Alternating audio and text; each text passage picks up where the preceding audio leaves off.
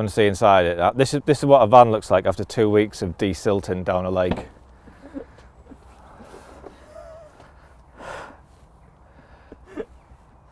Look at that. It literally makes me want to cry.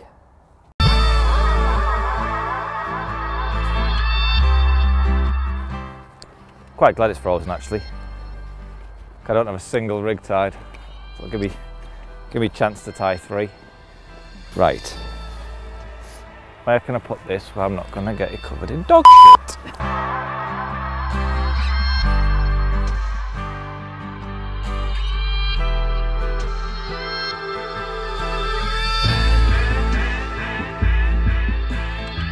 What's up carp freaks and welcome to Carp Life. Before I start, I just want to say a massive thank you for all the great comments and feedback from our first diary piece. The response has been quite overwhelming and it's great to know that you enjoyed watching the video. But today I am here at Butterley Reservoir in Derbyshire. Now I've never seen this lake before and even now I'm here I still haven't really seen it because the fog is that thick we've got about 60 70 metres of visibility that's it.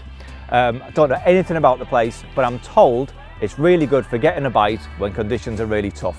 Um, and they are tough today. Got here after two and a half hour drive and the lake is frozen. Um, just had a cast with the lead. I thought the lead would have gone straight through the ice but just bounced along across the surface. So it looks like we're going to have a bit of a wait for it to thaw but that will give me chance to tell you what I've been up to in February.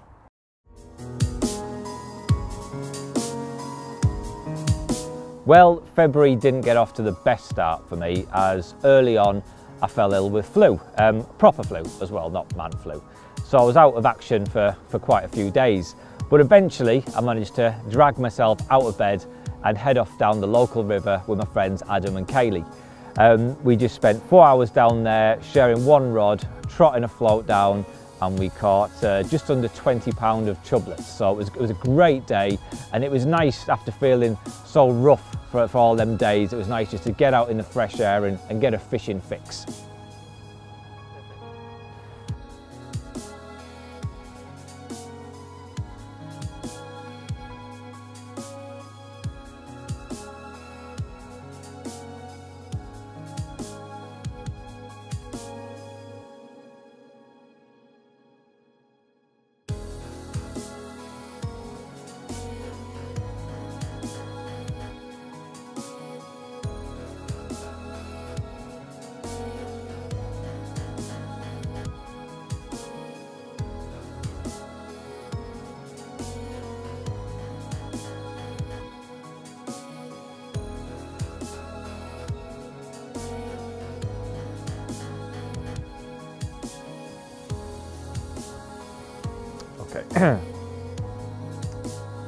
Now you may, I'll do that again. Now you may remember, did I say that right? Now you may remember.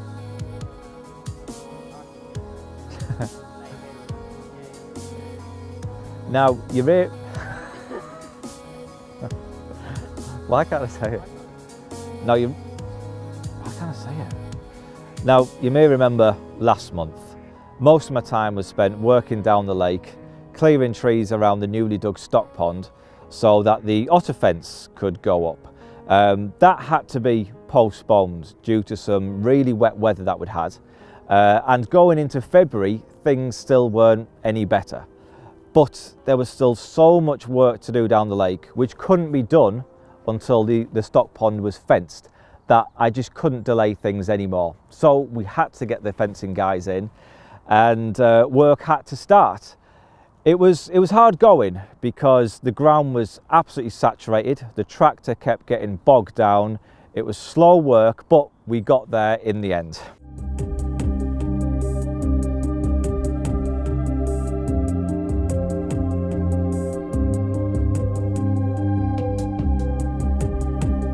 Now, I say that the stock pond was fenced. There was actually one small section that we were unable to complete. Well, there's the fence, but I am not able to fence the entire perimeter at the moment. You can see the fence ends there around the stock pond. The main lake itself is totally fenced. um, but I'm unable to complete the fence around the stock pond at the moment. Reason being, when the main lake is drained, I'll be removing the silt and all the, the uh, slimy blanket weed um, and that is going to be getting dumped around here. I've been clearing trees to make room for all the spoil. I've still got a few trees to go yet so I can get in with the with the dumper trucks. Uh, there's a few more trees over here I need to clear. I've, I'm pretty much on top of it. I need to clear these as well. Um, but this bank is probably about 50 metres that is unprotected and some might say oh well it's near the road it, it won't matter otters aren't going to come there. That's absolute nonsense. Um, I know so many fisheries that have, have fenced like three quarters of the lake and, and left banks unprotected are close to roads or close to railways or, or, or, close to houses thinking that otters won't get in. They will. It's no different to a, an urban fox an urban badger a squirrel or anything like that. I mean how many times do you see um, you know animals like that squashed on the road. Uh, and an otter's no different. It's it's no different at all. Um, so it needs to be protected. What I'm going to be doing is just running three or four strands of electric wire um, on this unprotected bit um, starting quite low to the ground and then and then coming up in, in sort of stages. Um, so that that will be fine. That will protect this this bank that hasn't been fenced. Um, but at the moment the main lake is being drained the pumps are going. And then next week that's when all the uh, the work starts again um, when I'll be removing the fish from the from the main lake holding them in the stock pond. Um, and then once they're they're held in here I can finish draining the lake completely. And that's when the diggers and dumpers move in and we uh, get down to the real nitty gritty. In between all the work that was going on down the lake, I had to meet up with Harry at the A1 pits to do a bit of filming for Fox. So this is us on location filming. Us under a bridge under the A1. The A1, yeah. It's not that great for sound actually. No? No. Look at these icicles of like lime scale up there. Film them, that's cool. Limesicles? Limesicles. Yeah. Would it be lime scale? Well, they're actually called stalactites. But... Right, stalactite, I want but I like limesicles. The ones, that, the ones that go up are a stalagmite. Correct. The ones that go down. down. But we're not in a cave. That happens in caves. I think it can still happen regardless. I think it's the same forces of nature at work. Cavemen. so what we're doing under a bridge? What's, well, attempting to film a new intro for the challenge, but I don't think this is really. No. This, well, it's a bit loud. That gives it the effect I think we need. It's like it's like sound effects without adding them on. It's like I didn't I wasn't going to. Uh, so how did that go? Well, apart from the multiple takes yeah. that we had to do. I'm, I'm always bad at learning my lines, aren't I? Come on. It's not really learning your lines, it's just saying them with any sort of decent emphasis on any of Oh, it. sorry, I'm not a professional actor like yourself, young Charrington. You've, you've treaded many awards over the years, haven't you? Uh, yeah. yeah. Many treaded many awards, did you say, or boards? Boards. You went did to you... drama school, didn't you? And you did all all that stuff. Yeah, sort of. Exactly. I'm not professionally trained like yourself. No. No. Sorry. No, but yeah, it's gone okay. We've smashed through it. Yeah. Just about to go live on Facebook. Are we? Yeah, yeah, we are. Okay. Yeah. You, he knew that. He did that. That was acting. That was. that was acting. He knew that we were going to go live. Well, um, I did. And I pretended that he didn't. I knew ten well, seconds ago. so yeah, we're going to do that. Obviously, you won't see it because it's a bit later than. Uh, yes. Than you can actually see a, a mark on my face where that branch whacked me in the face. Where? Here. Yeah, but you've got marks all over your face. Yeah, well, I was I was forced against my will to climb a tree for the sake of a video. Not just climb a tree. I mean, against I your will. In reality, you did want to do it. Uh, well, I was okay with climbing the tree, but you said just sit on that branch and let your legs dangle. Who does that? Why would I just be sat there dangling from a branch? Have you never? I've. You you do that though when you're looking for fish. You get yourself in I'd a nice stand on a branch. Position. I wouldn't dangle from it. But uh, if there was a branch that you could have sat on, you'd have you'd have sat on on the comfy branch. yes, but it was a proper wispy, flimsy tree, and I got uh, whacked in the eye with a with a branch. So it was nearly accident at work, wasn't it? Really, and you'd have been responsible for that. Yeah, to be fair, uh, actually no, you're responsible for your own actions as a consultant. You're responsible for your own actions. You're not actually an employee of. I am self-employed. That's Yeah. that's correct. So yeah, it would it would be down to your own like public liability Would it? insurance. Mm. Yeah, and you are a public liability. right. Let's do this live feed then. yeah. Right. Catch you later.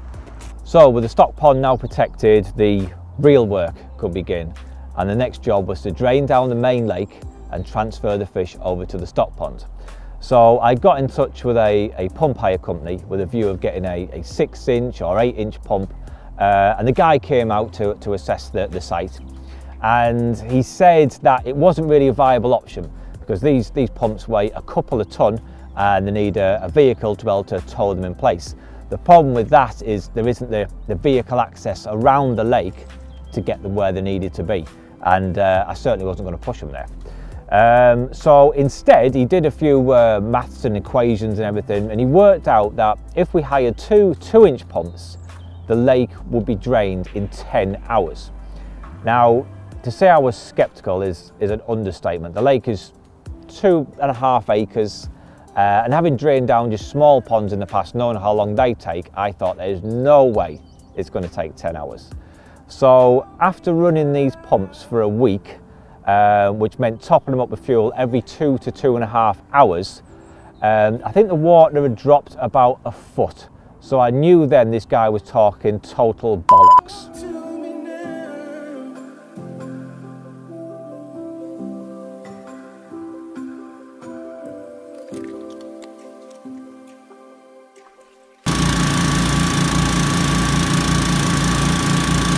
So, having ran these two pumps round the clock for the best part of a week, it was clear I was getting nowhere fast. So, I managed to get the help of a couple of mates who sorted me out with, with two more pumps. So, I now had four pumps which needed topping up with fuel every two and a half hours, uh, and it was knackering, absolutely knackering. I quickly learned how temperamental pumps can be. Uh, sometimes they don't want to start, sometimes they don't want to pump water. So I, just thought the best thing is just to keep them running with fuel. Once once they're cut out, some of them just wouldn't start again. Um, I did consider sleeping down the lake because, like I said, by the time I was getting home, I was more or less having to come straight back out again. Um, but just the noise of four pumps running, it was, it was deafening. You, you could hear it from about a mile away. So there's no way I was going to get any kip down there. Um, but yeah, with these four pumps running, I was starting to make a, a dent in things, but still, with, it- with, with the time scale we had, I was still very concerned it wasn't going to be drained in time. Well, it's a new week, a new fortunes. We've got Old Yeller back in action. Go on, Old Yeller. He hasn't been working for the past few days, and um, I just took it apart this morning, took the pipes apart, put them back together, and it worked first time. Obviously, there was a seal that wasn't quite tight enough. I, I wish I'd done that a couple of days ago, because the past few days I've only had two pumps running down here. We've got five pumps at the lake, and uh, only two have been functional. I've, I've given up on the other two, they're just not having it. So um, it's going to be tight, it's going to be tight. I need to get this water drained down by Friday, but the way it's looking, it's uh, things are looking up. Well, it's 20 past nine. I've just come down to top up the pumps with fuel. And when I was doing so, I just noticed something flapping around in the in the mud. I thought it was a frog at first, but it's this little tiny baby tench. He was just in the silt. There was no water there at all. He was just, like I said, I just saw some movement in the silt. It's amazing, really, because there hasn't been a tench caught in the lake for probably about five years. But there's obviously there's at least two in here, one male, one female. But I'm gonna uh, I'm gonna rescue him, put him in my garden pond at home, I think.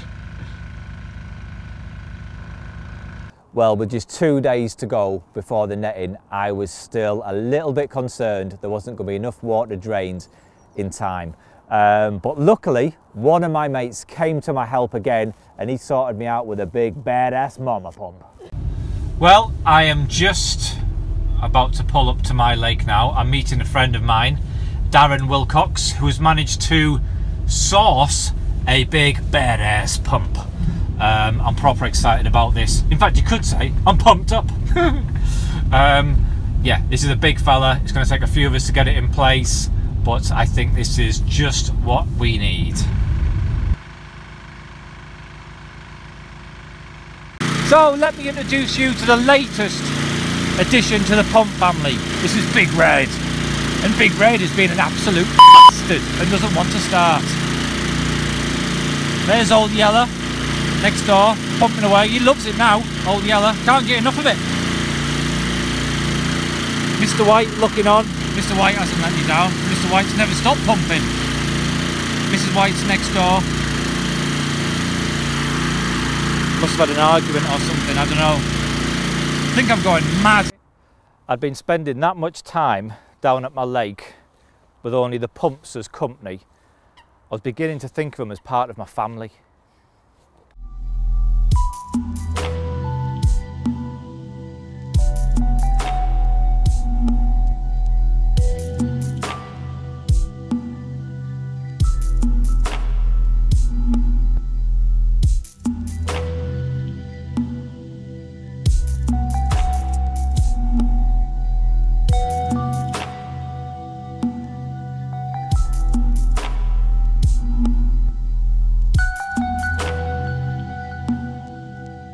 Well, it's over five hours since I arrived at the lake and the ice has just cleared now, literally just this second. So I'm now able to get, get my rods in the water. Um, I've actually already put some bait in the swim. There was a little bit of ice there, but it was, it was only thin and I could get a spod through it. It was, it was too thick to be able to cast out and sink the line, but I got the spod through, no problem at all. And all I've done, I've just put out six spods of finely crumbed up live system boilies with some amino blend 365 liquid to really crank up the attraction levels and hopefully draw fish in from, from in the area and also any fish that maybe sat within that water column. Um, I've just got three, um, three rods baited with bright hook baits. I've got two on um, yellow Northern Special pop-ups and uh, one on a, uh, a pink Northern Special pop-up. So that's it, let's get some uh, rods in the water.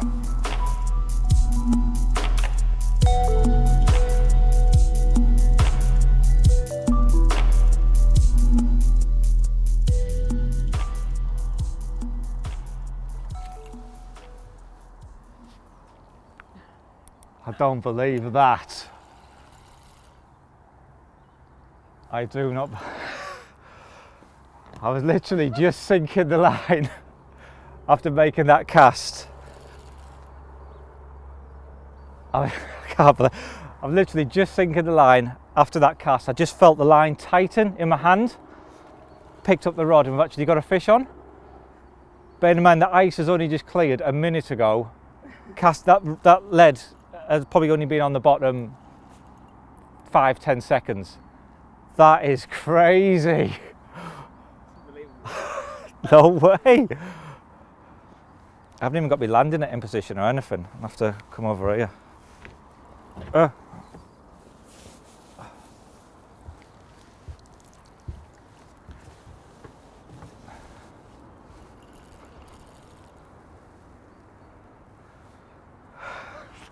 mental. That's the quickest bite I've ever seen.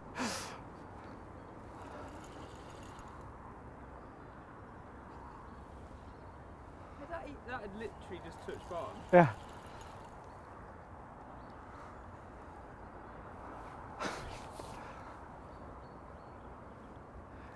Do you know if I land this, this will be my first carp of 2018. Oh? Yeah. I hope it's not a chub.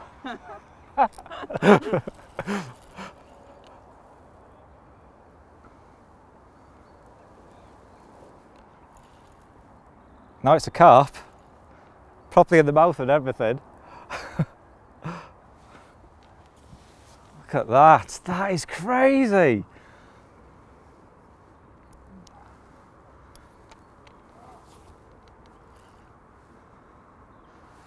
Come on. Come on, fella. Yes! Look at that! Oh, he's a lovely scaly fish as well. I was not expecting that at all. Then when we got here, the lake was frozen. We waited five hours for the lake to defrost. Cast out, landed bang on the money where the, the spods are gone. Literally sinking line, felt it tighten in my hands, picked it up, and we got a fish in the net.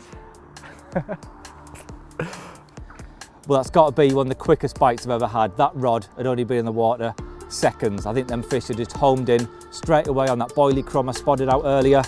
And uh, here I have what is my first carp of 2018. Happy days. That's the pose. That do I look good?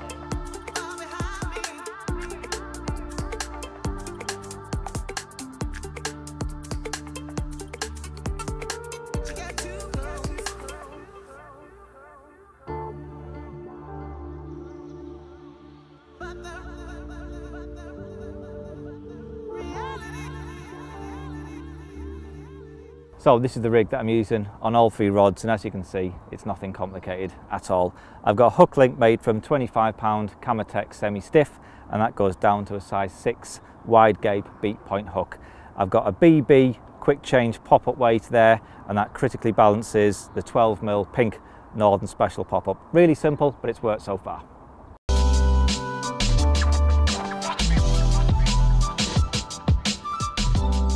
Well, it's lovely to be able to come down the lake first thing on the morning and hear the sound of birds tweeting rather than pumps roaring.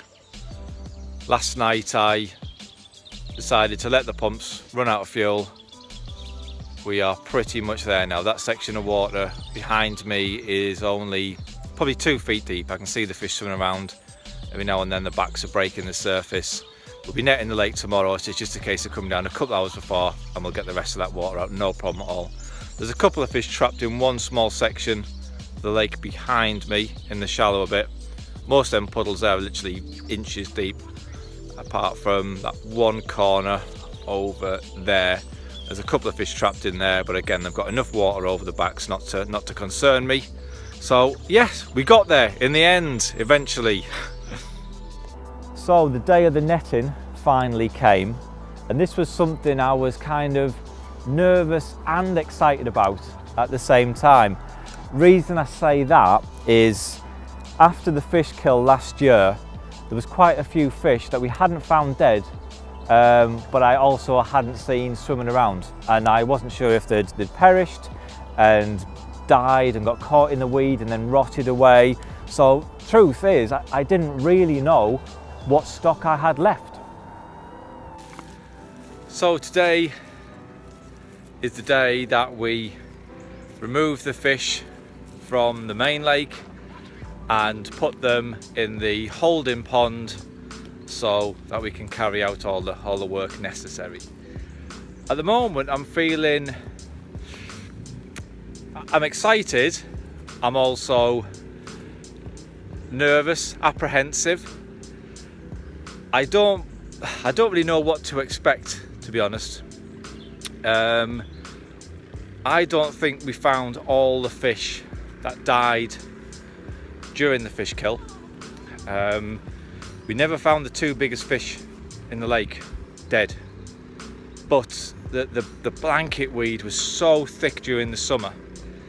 Um, when we were removing it by hand, we were finding dead fish tangled deep down in, in the weed. So, you know, th th those big fish could have died during the summer and that, that blanket weed holds so much heat and I think it just it, it breaks them down very fast that you know I, I haven't actually seen the two biggest fish in the lake for quite some time so I don't know at the moment I'm 50-50 as to whether they're actually even in here so I'm, looking forward to, to finding out one way or another um, and I've had loads of people message me saying, are you expecting any surprises? Um, I mean, this is the very first time I've done a drain down in the history of my lake. It's been here since 1994. That's when we dug it. I, I, I think I know every single resident in the lake, so I'm not expecting any any great surprises, to be honest. Um, also because of the because of what happened during the summer you know I've, probably lost uh, a summer's worth of growth. So I'm not expecting the fish to be at fantastic weights. I've not seen fish feeding over the winter period at all. I've not seen any signs of feeding fish. Um, there's been no bait no food going in right through the summer. And obviously the, you know there's a bacterial problem which you know there will be everything they will be eating they'll be going into repairing themselves and healing themselves rather than putting into into growth so I'm not expecting any great weights um, but it's going to be nice to see exactly what stock I have left.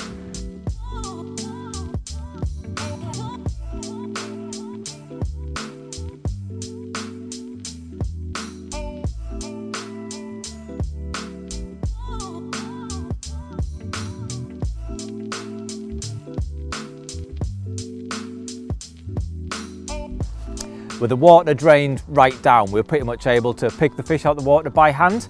And luckily, to put my mind at rest, spilled me brew, getting that excited.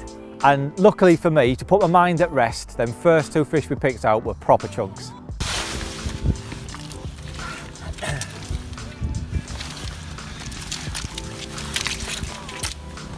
I'm absolutely over the moon because this is the fish, this is the biggest fish in the lake, a fish that I haven't seen since the fish kill. So I'm absolutely buzzing that it's still in here. Right, what does it weigh?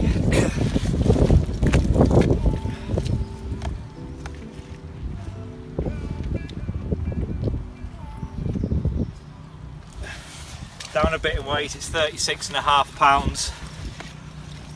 But he's alive, he's fit and well. I'll soon put the weight back on, I'm sure.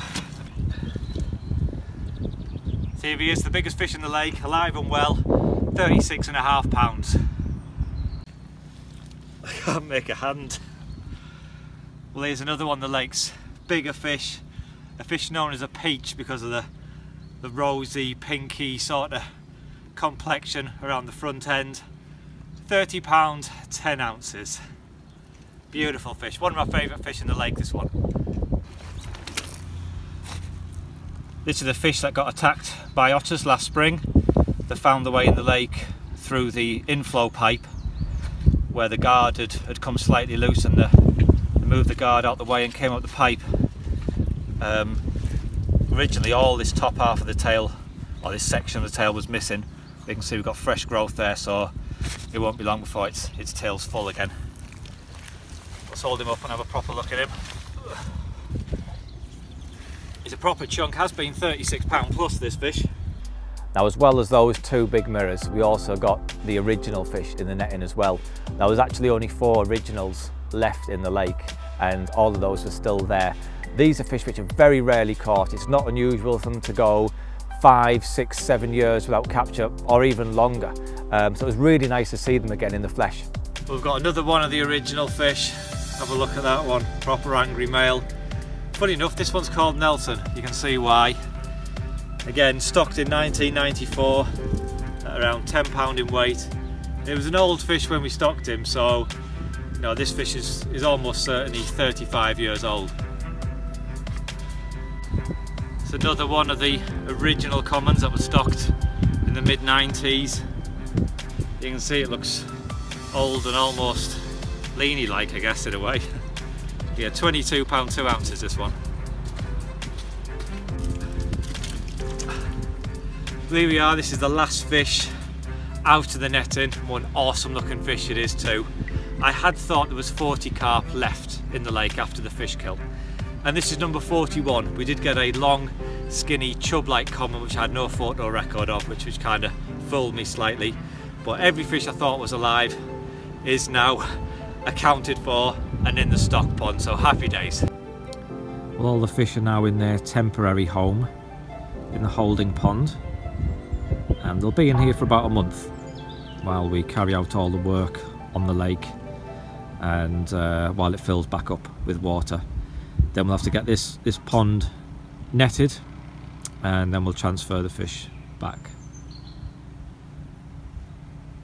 My dad's just over there, he's um, he's putting up the electric fence.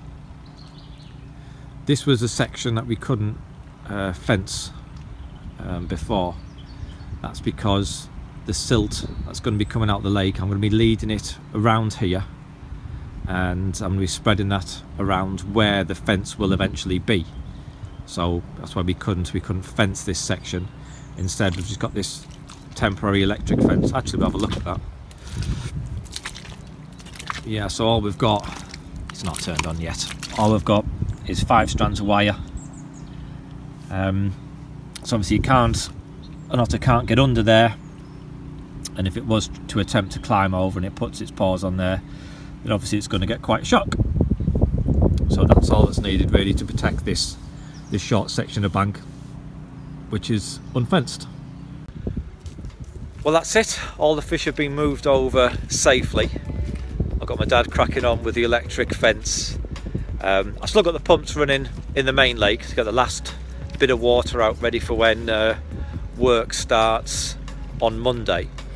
But right now, I've got to head over to Manchester for the Northern Angling Show. So I need to get home, get showered and get on the road because I need to be there in about two and a half hours. That's actually my memorial kettle, that. I've had the, well, some of the big fish that died in the fish kill at my lake, I've had them engraved on the kettle. Yeah, it is nice. Sound a bit more enthusiastic about it, like, you know. the Northern Angling Show was an absolute blast. It's always good to catch up with other Fox anglers. We live all over the country, so we don't really see each other a great deal. So it's nice to, to meet up, on the nights we go out for a meal, have a few drinks. It's just, it's just great fun. Uh, and the show itself is probably my favourite show. It's, it's mega busy and it's great to see so many enthusiastic and passionate carp anglers. I'm a chicken shashlik. Chicken sausage, please. Yes, yes, not here.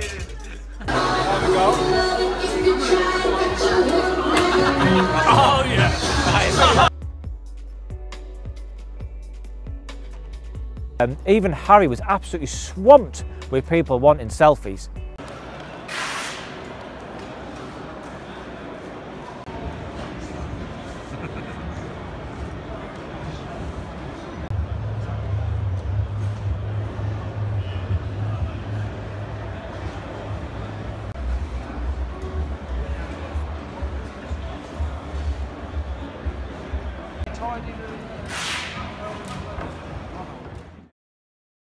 So, having got back from the Northern Show, it was back working down my lake. And all those weeks and months of hard work and sleepless nights had been for this. So here we go, this is the first load of silt about to come out. I can see me getting proper splattered here. This is looking messy.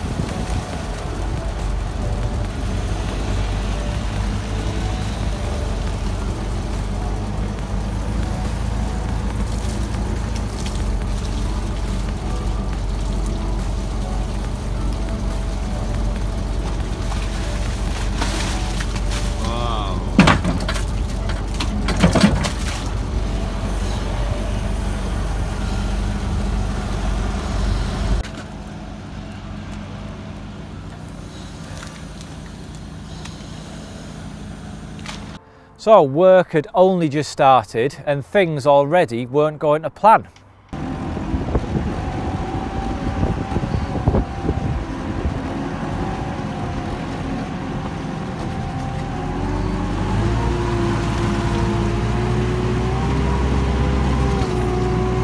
Come on.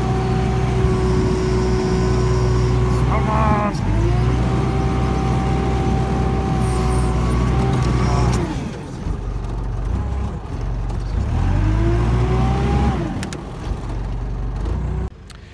Only just got started, already having a nightmare.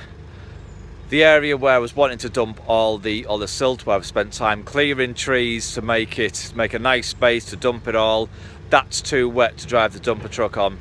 I've done one journey and sunk straight down to the axle, uh, so I can't travel on it at all. So what I'm going to have to do is uh, cut through the otter fence um, in an area where the trees are quite sparse. There's, there's, quite a good area there where I can get lots of lots of silt dumped. Um, this bit of the fence isn't really sort of functional actually because the the new fence around the stock pond kind of makes this bit redundant so it's not going to be a drama I'll just cut a gap in here patch it all up when we're done and uh, yes we can get all the silt dumped in here and the water pump stayed true to form by being reliably unreliable so just had a bit of an accident with one of the pumps down here couldn't get it to pump water took the cap off on the top I got it going. Oh yeah. Whew. As well as the pumps, it also seemed that the weather was against me. So it's day two of the desilting and the weather has taken a real turn for the worse. This isn't going to be easy work. Trying to drive the, the dumper on wet, sloppy mud and snow is just going to slow me down massively. It's absolutely Baltic as well. It's that cold. It's the first time in my life I have wore a hat with ear flaps. But uh, I can't put this off any longer. Let's get cracking.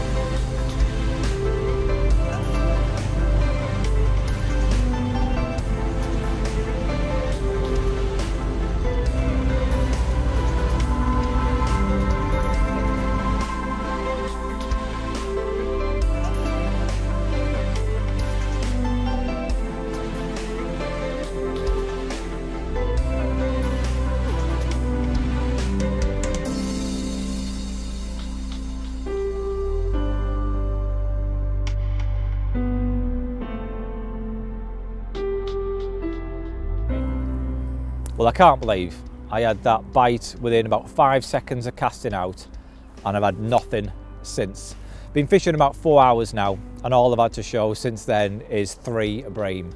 But um, it's about an hour before it gets dark, so I'm still sort of quite confident we might get one more chance uh, before it's time to hit the road. So, I think it's fair to say that February has been a very pumpy sort of month. And when I lay down in bed on a night, I can still hear the deafening sound of all those pumps roaring. But also, I think it's been quite a kind month to me. I've caught my first carp of the year, as you saw earlier. Um, and the work at the lake, despite all the earlier hiccups, the netting and the drain down went much better than I could have expected. But as we move into March, things look set to be even more hectic. Uh, there's still a lot of work to be done down at my lake. My tutorials kick off and also we're filming another episode of the challenge. So join me next month to see how I get on. Well, last month I finished with a chub. This month I'm going to finish on a bream. Hopefully next month we can finish on a carp.